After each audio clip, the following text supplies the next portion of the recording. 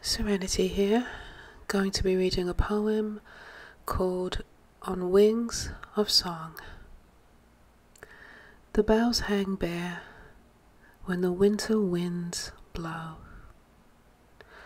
but the little birds sing in spite of the snow. I like to believe that I, a man, can do as well as a little bird can.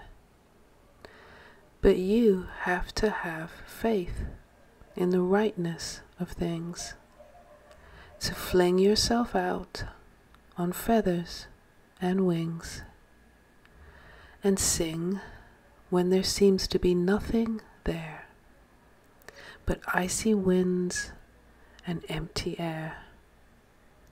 Little bird, fly up to the top of the tree of my mind and sing your song in me.